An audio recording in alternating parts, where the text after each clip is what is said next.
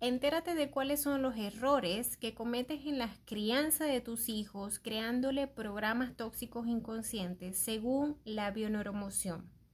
En los videos anteriores estuvimos hablando de que la base de la sociedad es la familia y que para que un núcleo familiar sea sólido se necesita de un hombre y una mujer que estén en armonía y que ambos tengan bien claro el rol dentro de la relación y que para ti mujer tu prioridad seas tú, luego tu marido y luego tus hijos. Y para ti hombre, tu prioridad eres tú, luego tu mujer y luego tus hijos. ¿Por qué? Porque los hijos vienen y se van. En cambio, tu compañero de vida es para siempre, al menos en una relación sana, como Dios manda.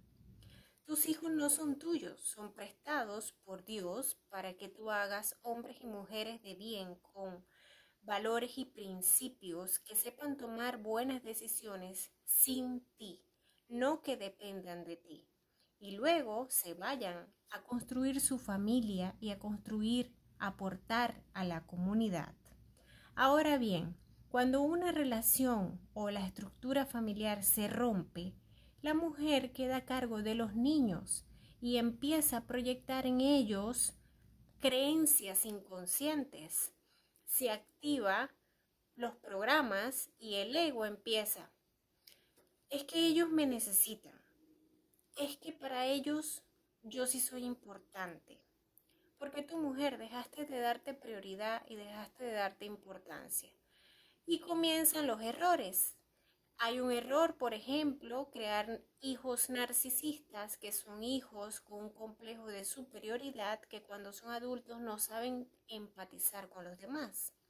Otro error es que como la mujer ya perdió a su hombre o al papá de sus hijos, proyecta sobre los varones el modelo de hombre ideal, por lo tanto los casta.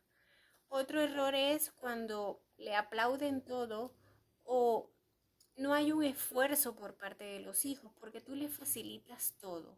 Esto hace que cuando lleguen a la adultez no tengan resiliencia.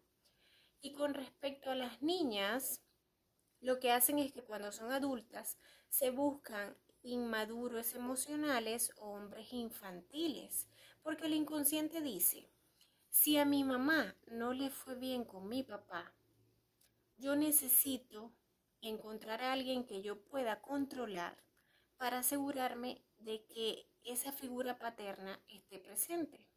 Por lo tanto, se buscan hombres infantiles donde ellas puedan tener la última palabra, por decirlo así.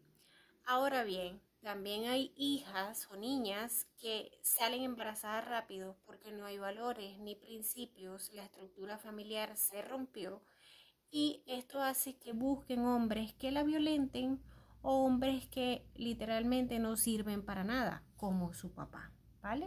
Porque recordemos que las creencias inconscientes lo que hacen es darnos la razón.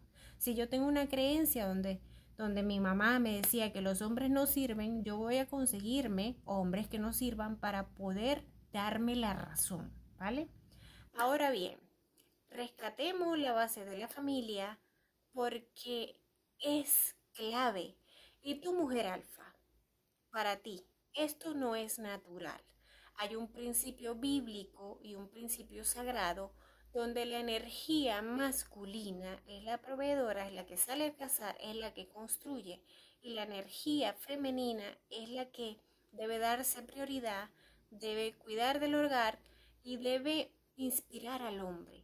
Yo no te digo que no seas proveedora, al contrario, te digo que construyas tu mejor versión como mujer, como mamá, como esposa, pero que le des la cabeza del hogar a quien lo tiene desde origen. Es un principio sagrado y bíblico. Dios hizo al hombre y a la mujer para que se complementaran y construyeran una sociedad. Rescatemos a la familia porque si no te has dado cuenta, quebrantando la familia y separando es más fácil controlar a la humanidad. Así que ese show que hay allá afuera de que las mujeres no lloran, sino que facturan, de que no necesitan un hombre, de que pueden ser mujeres alfa y toda la cosa, es precisamente para separar y poder controlar con mayor facilidad. Comparte este video, para un despertar de conciencia y colócame en los comentarios un yo quiero si te gustaría saber por qué lo que te enamoró de tu pareja al principio de la relación es exactamente lo que hace que termines con él o ella. Gracias por escucharme.